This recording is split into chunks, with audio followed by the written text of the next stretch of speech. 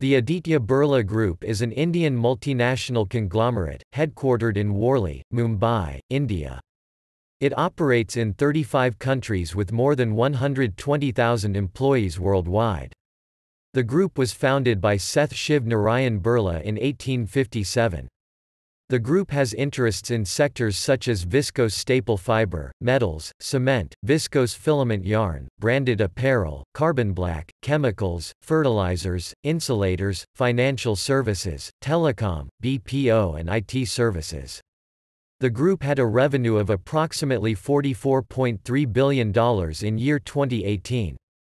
It is the third largest Indian private sector conglomerate behind Tata Group with revenue of just over $100 billion and RIL with revenue of $74 billion.